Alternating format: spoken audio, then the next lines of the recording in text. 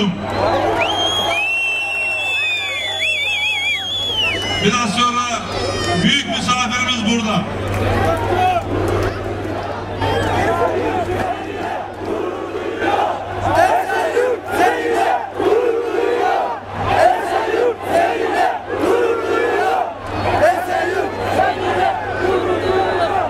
Ben sizinle bu manzaraya gurur duyuyorum. İyi ki varsınız.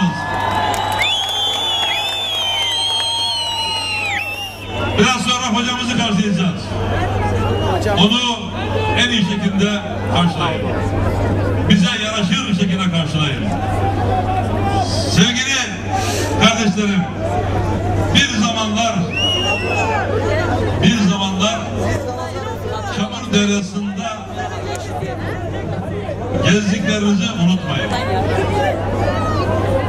Yenilere söylemiyorum, eskilere söylüyorum. Şimdi Esenyurt niye böyle gelişiyor diyenlere de prim vermeyin. Sevgili kardeşlerim, şu bulunduğunuz yerde bundan iki ay kadar önce bazı çapulcular bana yönelik bir saldırı yaptılar.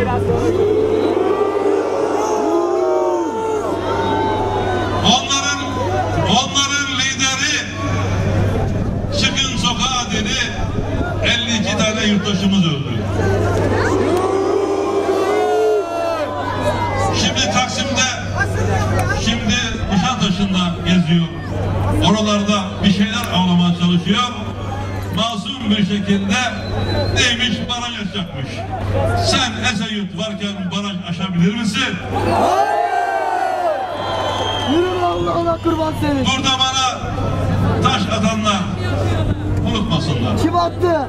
Biz biz onlara rağmen Kürt kardeşlerimizle barışı sağlayacağız.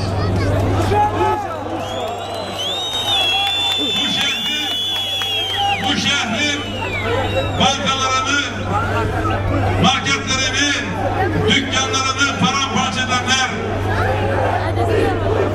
bu şehrin arabalarını, kamu binalarını yakanlar unutmasınlar.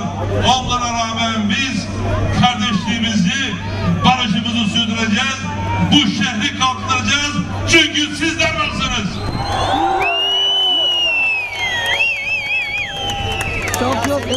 Onlar bilmiyorlar. Onları da affederiz.